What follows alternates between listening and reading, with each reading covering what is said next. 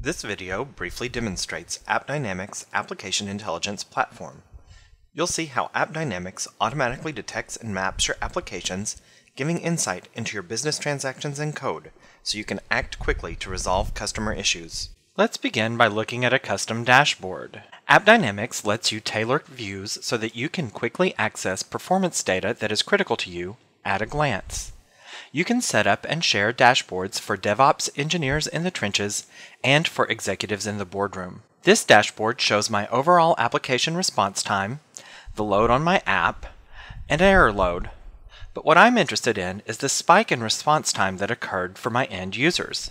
AppDynamics makes it easy to track down the issues affecting these customers. AppDynamics shows data representing my end user experience.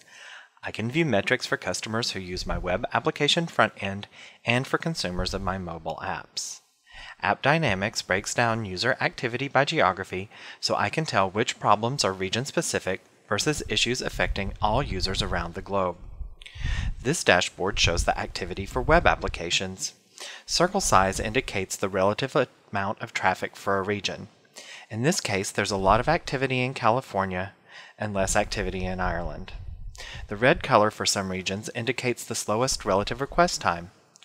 Hover over a region to display statistics for that region. The trend graphs at the bottom of the dashboard dynamically display the number of page requests, the response time, and JavaScript errors. When my app slows down, AppDynamics takes browser snapshots for web applications, or for mobile apps, it captures the app's network request activity.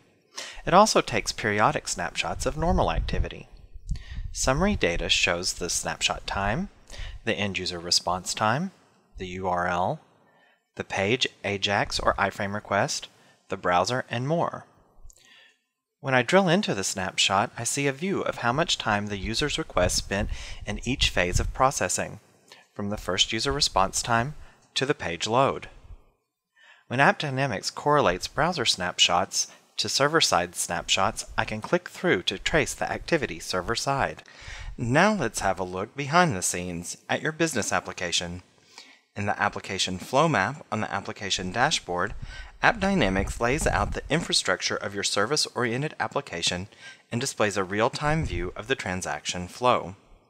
For this online store application, AppDynamics automatically detects and maps the JVMs, the CLRs, the PHP applications, and the Node.js applications. It detects message buses, databases, and web services. The segments linking the various tiers show the throughput and average response time. AppDynamics automatically detects the incoming requests as business transactions and traces the transactions as they flow throughout the various tiers of my application. The business transaction list displays the health, the average response time, the volume, and the throughput of the business transactions that execute in my application. It looks like View Cart Send Items has a 4 second response time, so I'm going to double click on it to display the transaction dashboard. The flow map shows an aggregated view of all instances of this transaction. AppDynamics also allows me to analyze individual transaction snapshots and diagnose the problematic ones from the Transaction Snapshots tab. The Transaction Snapshot tab shows executions of this business transaction. The orange circle alerts me that this execution was very slow, or over 20,000 milliseconds, so I'll double click to access the Transaction Snapshot dashboard. The Transaction Snapshot flow map shows me the timing between tiers for this one execution of the transaction. The flow map segments show the time that was spent between the various tiers. Here I see that the majority of the time, 99%, was spent in a JDBC exit call. It took about 20 seconds.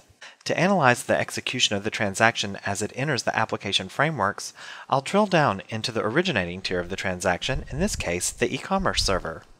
The call graph shows how the transaction executes within the e-commerce node. AppDynamics displays the full call stack with execution times and latency breakdown, making it easy to isolate root cause very quickly. In this example, the create order web service is taking about 50% of the time. Click the web service link to display more details. The exit call window shows the web service name and the operation name along with other details. Click to drill down into a call graph for the downstream call.